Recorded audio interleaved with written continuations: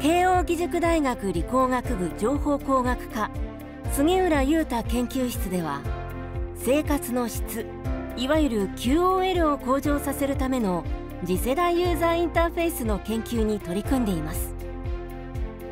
ユーザーインターフェースとはウェブやアプリケーションなどを利用するユーザーとコンピューターの間に入って情報のやり取りを支援するものです。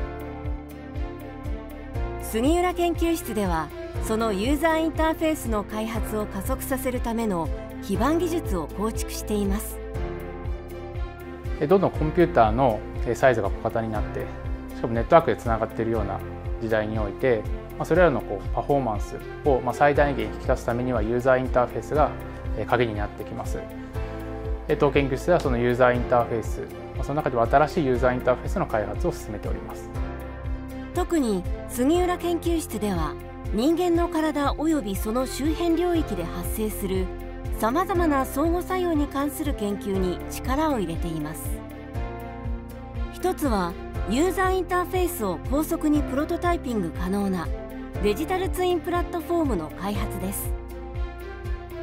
例えばバーチャル環境で実世界センサの配置と学習データの蓄積を支援するセンサシミュレータがあります。また既存の物体などをユーザーインターフェースへと変えるハードウェアデバイスを開発しています。例えばこちらはユーザーのアクションを計測するセンサーモジュール機能を持たせたクッションです。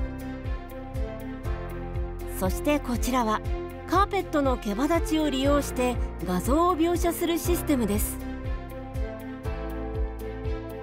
さらにこちらは光を当てる角度によってカーペットを画像の切り替えが可能なディスプレイにしています。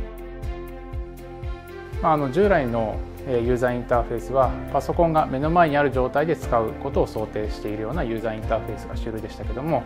コンピューターがどんどん環境に偏在するような時代においてえ人間がコンピューターを使うことを意識しないようなユーザーインターフェースの、え開発を進めております。杉浦裕太研究室ではさまざまな分野で活躍する専門家と協業することで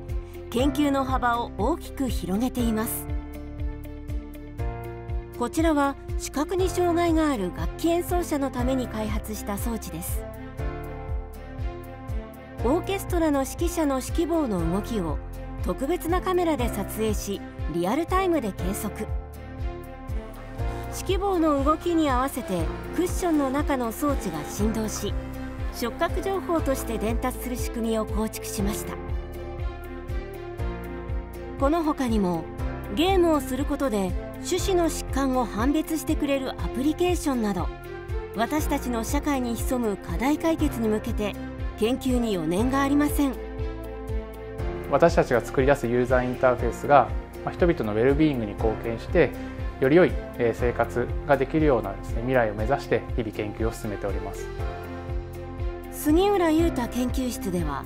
これからも時代の先を見据えた画期的なユーザーインターフェースを追い求めていきます何か自分が作ったものが人々の役に立ってもらいたいとかですね、まあ、そういうふうにこう思ってもらえるような学生さんたちと一緒にこうやっていきたいなというふうには思っています。